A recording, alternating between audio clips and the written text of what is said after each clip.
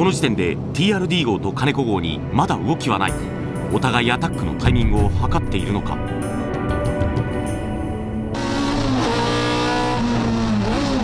アルゴ号がアタックに入る。テクノプロ号を食えば必然的に上位へ入れる。是が非でも離されまいと食い下がる。しかしコーナー出口で駆動抜けの症状が発生。これは厳しいか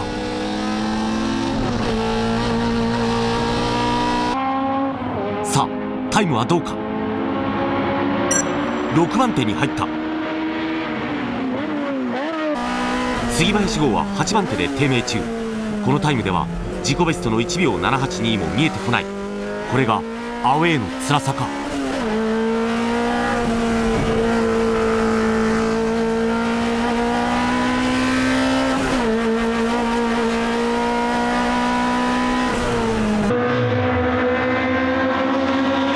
コンマ3秒タイムアップ。5番手まで浮上。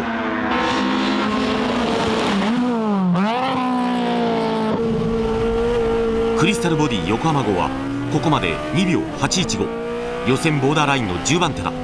エンジンは快調。しかしタイムが伸びない。苦しい展開だ。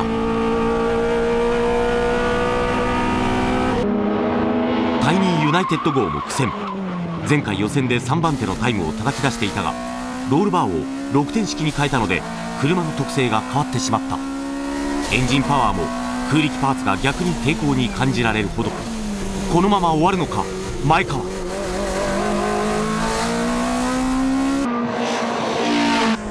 RS アイザー号もアタックを続けるがタイムが伸びない。3秒台に上げるのが精一杯。これは苦しい。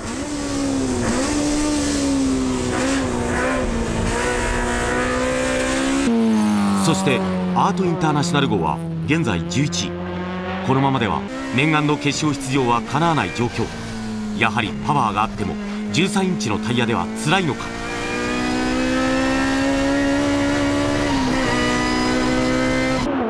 ここで金子がついに動いた。ここまでは2秒5をマーク。金子号は唯一のドラムブレーキ仕様。例によって1部屋と2部屋ではサイドを併用する。ダンロップではなんとクラッチ蹴り。アグレッシブさではナンバーワンか。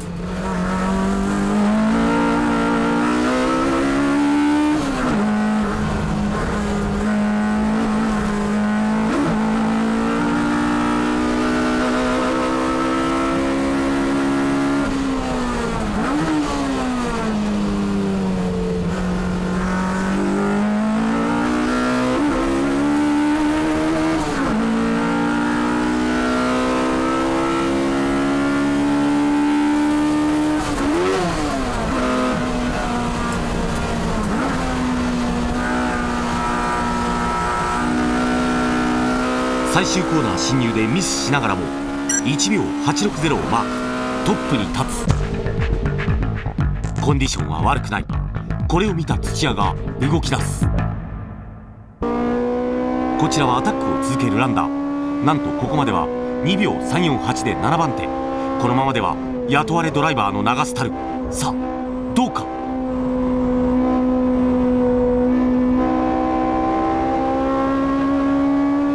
さすがランダー。1秒726でトップに立つ。土屋 TRD 号も徐々にタイヤを温めついにアタックモードに入る。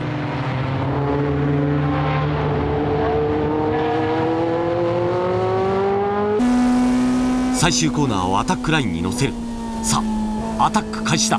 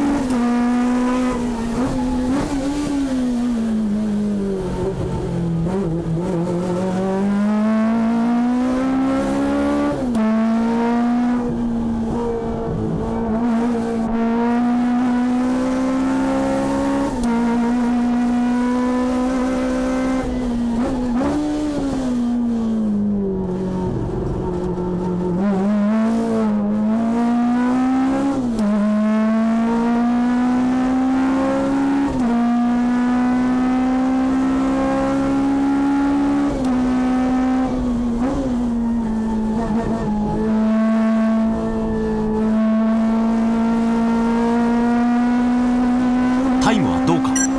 アタック1回目で1秒476土屋 TRD 号トップに立つ。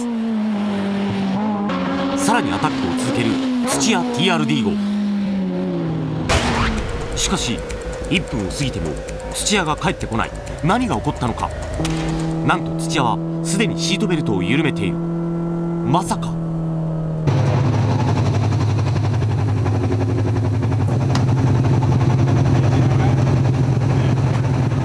TRD 号にあってはならないトラブルが発生してしまった。そこに亀田が来た。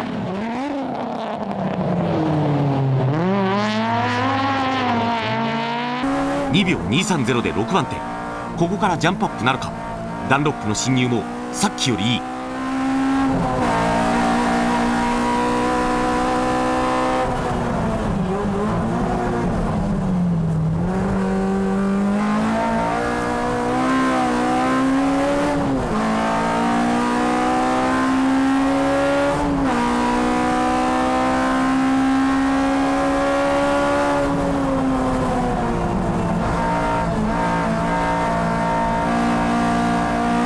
さあどうかなんと1秒155をマーク。カメラがトップだ。テックアート号もアタックを続ける。14インチに落とした分オーバーステアが強く発生。苦戦を強いられる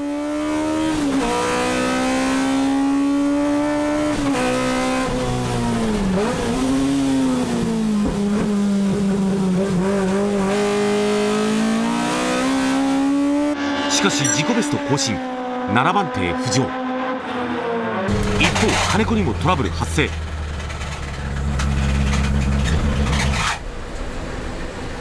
オイルポンプの破損によりエンジンが焼き付いてしまった。前回のポルシッターはここで姿を消すことに。金子無念。そうだ絶対ふざけんなよ2秒343で9番手の杉林。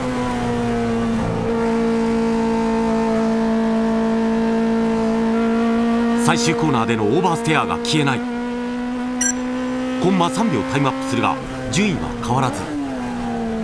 残り5分トップ9台の差はわずかコンマ9秒。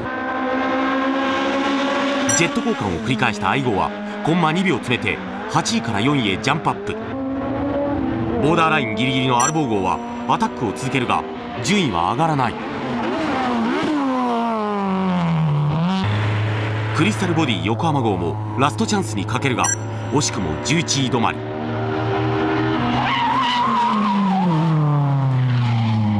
そしてランダーも最後のアタックに入る。ランダー曰く車重が重くなった分最終コーナーターンインの速さが落ちたとのこと。しかしランダーこのまま引き下がるわけにはいかない。空気圧を2.0から温感で1.6に変更。ラストアタックだ。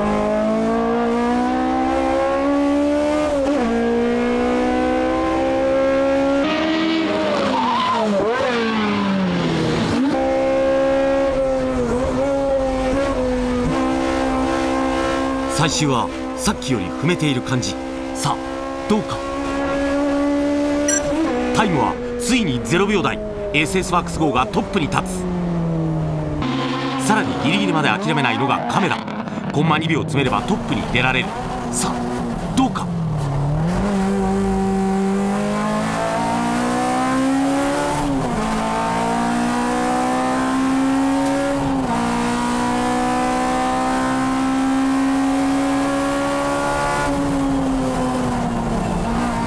最終も安定している。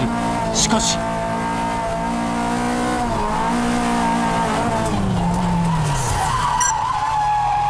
なんとスピンしながらコントロールラインを通過。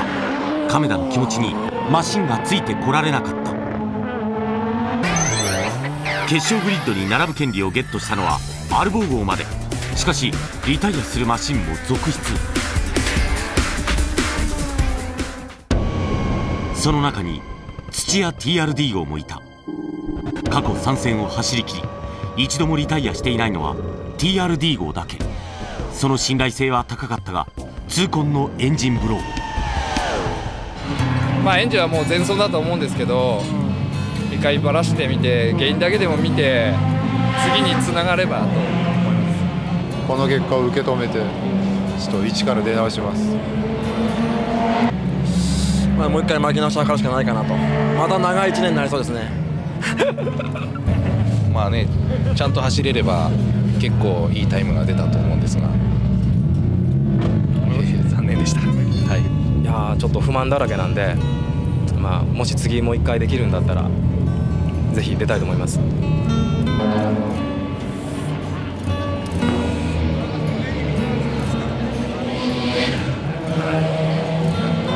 でも練習不足ですね。もっともっと練習しないとダメですね。スターティンググリッドを紹介しよう。栄光のポールポジションをゲット。SS ワークス川崎俊英。2番グリッドは亀田。3番手に愛号が入った。4番手は大躍進の星水号。テクノプロ号は5番手。初エントリーにして6番手のテックアート杉林は7番手。8番手はアルボー号土屋金子内堀前川のリタイアによりクリスタルボディー号とアート号が決勝グリッドに進んだ。ついに決勝の時がやってきた。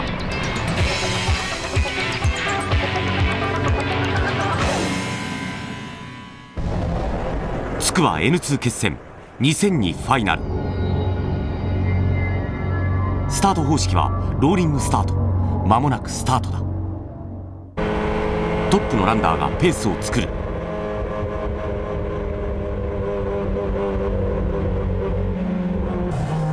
2番手亀田は臨戦態勢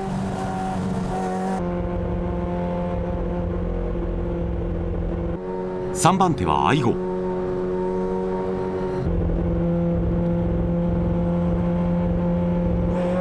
グリーンフラッグが振られた。スタート。ランナーは左に牽制。亀田の前をしっかりキープ。スタートをリプレイチェック。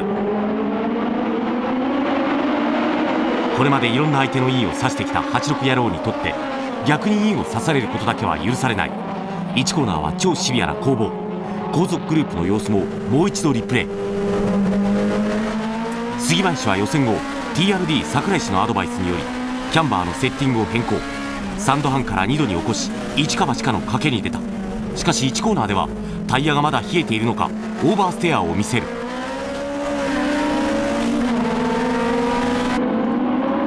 スタート直後のタイヤが冷えている状態でいかに速く走れるかがポイント。1周目の差は10ラップ後に大きな差となる。おっとアルボー号がオーバーステア。この隙を狙うクリスタルボディ号。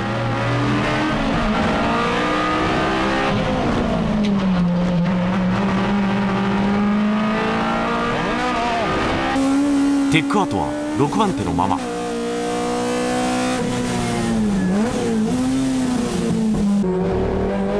アイ号は3番手。後ろのテクノプロ号を気にしながらも亀田号に食らいつく。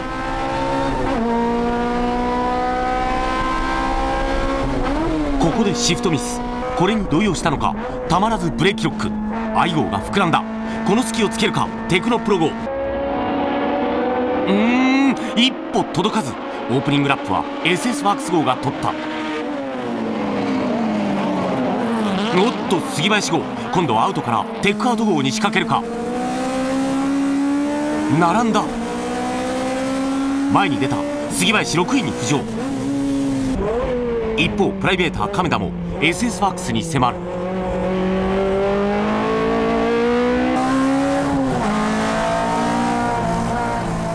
ダンロップは亀田が速い。完全にロックオン。さあ2部屋はいけるか？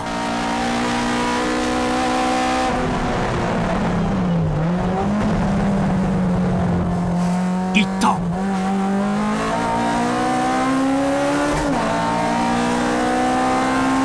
最も軽い SS ワークス号に加速で勝る恐るべし亀田パワー。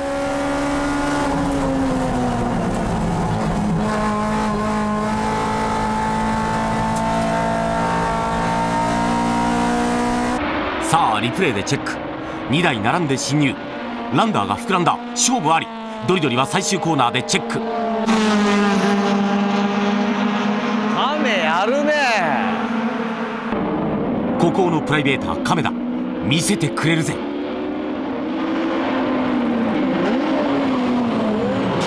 さあもう一人のプライベーター。杉林はどうか。櫻井氏のアドバイスがドンピシャにはまり走りが復活。星水号はこのプレッシャーに耐えられるのか？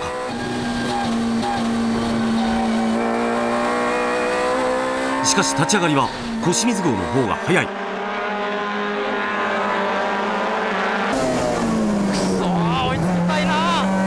最後尾のアート号ベストタイムを更新して走る。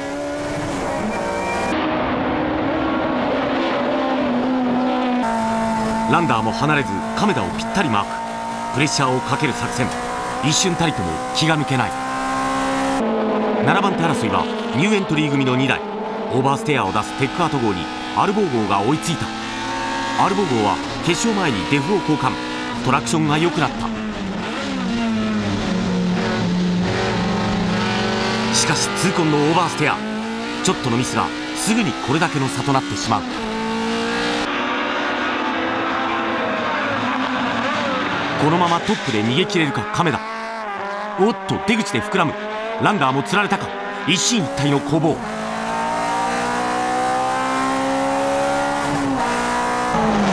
クリスタルボディ横浜号はこの週にベストラップを出しアルボー号に迫る。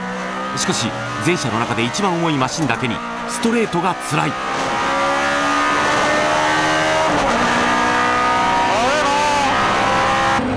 トップ争い。そして3位争いも熾烈だ。テクノプロ号最終コーナーでオーバーを殺しきれない。わ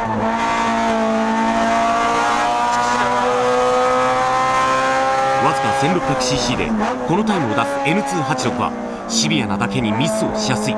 そしてわずかなミスが想像以上に大きなロスとなってしまう。前を行く3番手の愛号テクノプロ号のプレッシャーに負けずに逃げる。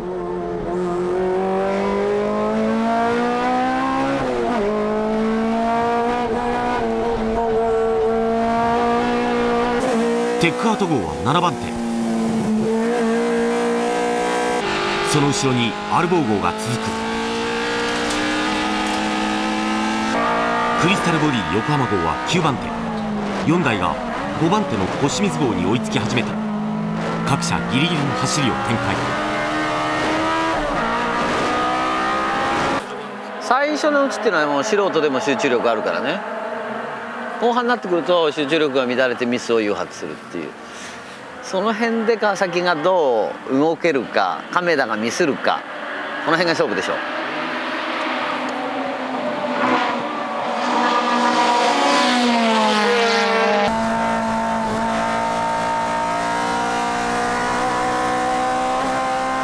バトルは6ラップ目に突入。しかしトップ亀田のペースが上がらない。その理由はランダーからのプレッシャー。そしてこれだ。なんと3速へのシフトの入りが悪くなってきたのだ。精神的にもギリギリの状態。その上ミッションの入りも悪い。ライン取りにも集中力が欠けてくる。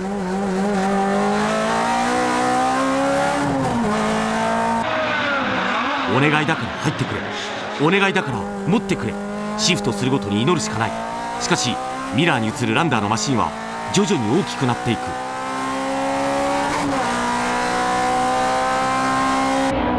そして今度はランダーがベストラップを出し亀田に迫る。おっとランダーがインへ揺さぶりをかける。たまらず亀田はそれを締める。しかし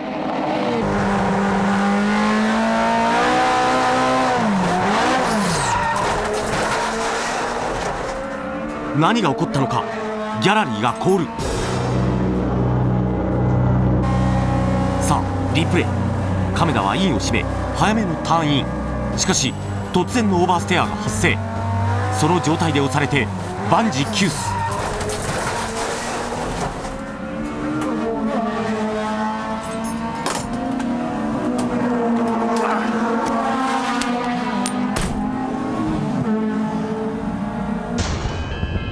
外から見ても亀田はほぼスピン状態。ランダーでさえもこれは避けきれない。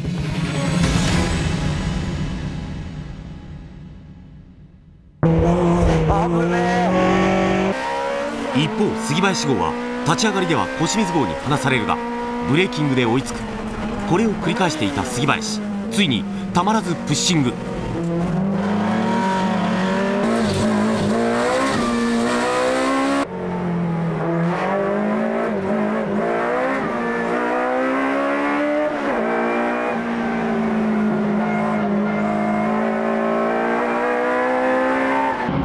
残り3周。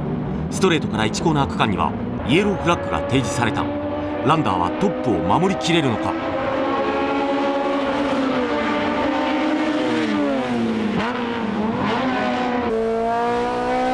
動揺しているランダーにアイゴーが一気に迫る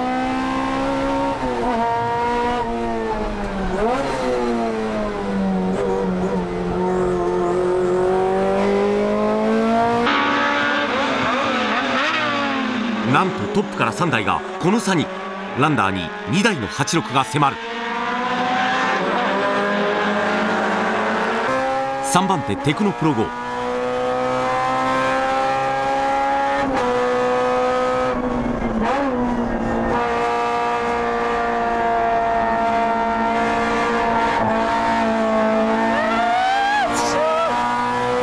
プレッシャーをかけるつもりが逆にミスってしまったテクノプロの熊倉。小泉は自分のペースで愛護を走らせる。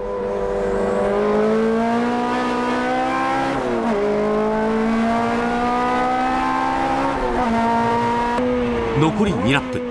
三つどもえの争いとなった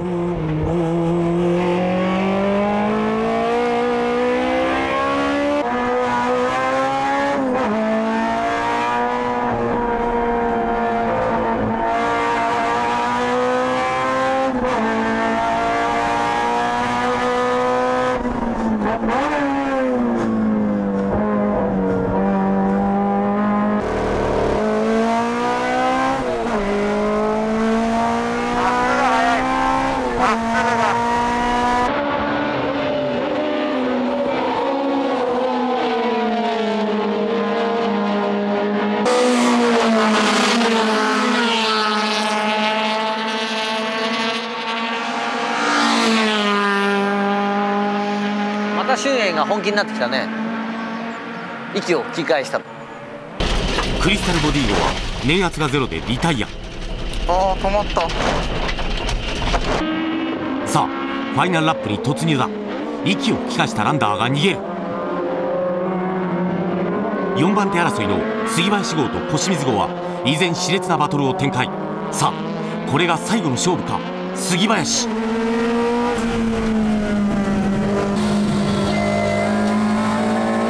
やはり加速では小清水号が速い。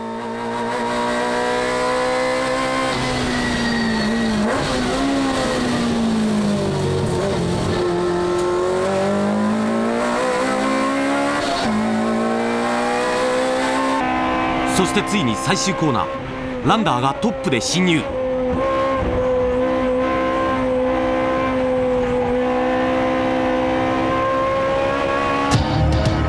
4度目の挑戦にしてついに SS マークスがつくば N2 決戦を制した。15台中生き残ったのはたったの8台果たして次回はどんな決戦となるのか。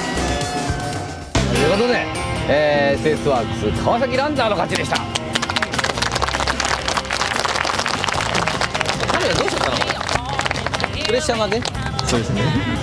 画面のはね見てて決まってるね。うんこう周囲の方がこう小刻みに修正入れてるけどカメラはピターってきてちょっとこう修正入れるだけで。次回はやっぱこう団子の集団でトップ争いをするとかね見てみたいですね。さあということで、えー、86世界一決定戦は次は来月です。2003年行いになります。以上。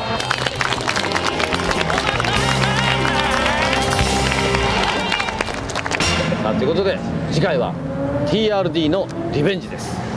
リベンジ間違う違う。ロケ出た。っすロケ出たっす